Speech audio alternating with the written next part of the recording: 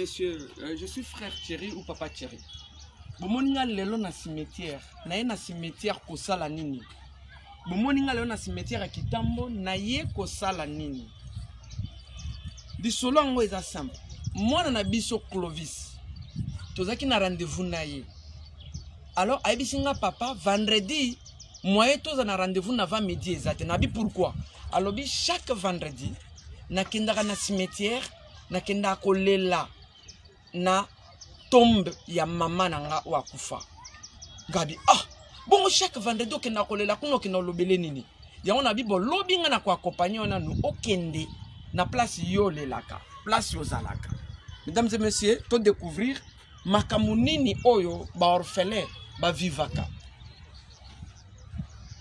bonjour clovis ça va tomoni na cimetière ya kitambo ndenge nayebisaki yo ke lelo nakoakompagne yo lelo mpo yo obi oyaka chaque vendredi awa oyaka chaque vendredi bakosala nini cimetière ya mama na yo mama na yo banda akufa euh, oyebi okanga ke bakunda ye awa bakunda ye place nini bakunda ye awa ah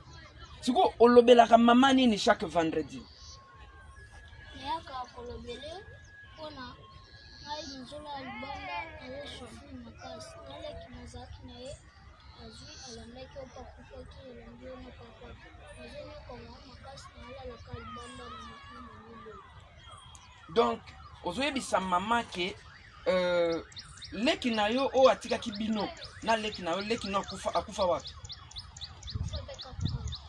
akufa bozalaka bino mibale libanda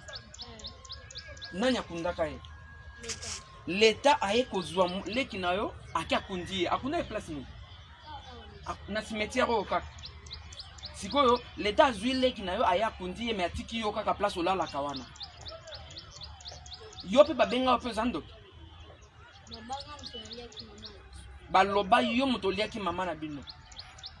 mesdames et messieurs euh, eza mpasi na mawa mingi eza mpasi nayebi te totala nano place oyo ndeko na biso azofilme eza mpasi na mawa toza sikoyo na cimetière ya kitambo Clovis aza mwana oyo baloba ke alia mama na papa.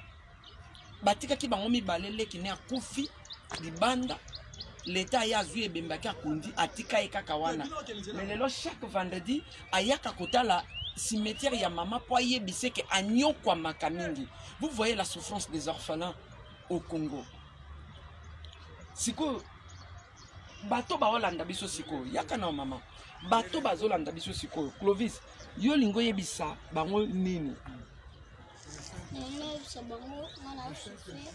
kaka yone motu osungaka nga oliesa nga olatisa ngai ozozwa nga mpe na bovani ndako na yo vraiment nasengi nzambe asunga ye asunga mpe mama na nga asunga ngai epesa mbongo vraiment esali nga mpasi na mawa na makambo ozoloba bandeko na yango baotala nayebi ke boza mitema malamu papa chéri en direct de kinshasa vous êtes partout dans le monde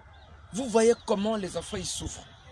naza moto nakendaka na source mpo na komona mpo na koluka moyen ya kotransmettre bino bandeko ya association les enfants du cœur bato ya mitema malamu oyo bokoki kosunga baorphelin tala mwana oyo makambo azoloba makambo asalaka yaka chaque vendredi lelo toza sikoyo ba 11 heures aye kaka mpo aya kotala tombe ya mama na ye mpo banda mama akufa ye alalaka libanda alelaka kaka Vous voyez comment nous souffrons avec ces enfants Ba histoire na bango soki touché yo te. Vraiment ekoki ko toucher ndeko mosusu. Bo contacter biso to aider bano. To aider surtout mwana oyo. Vraiment Clovis nzambe ya baorfele akosunga biso baetornote baza ebele bamama na nga bapapa na nga oyo bazolanda biso bakosunga biso ke ozala bien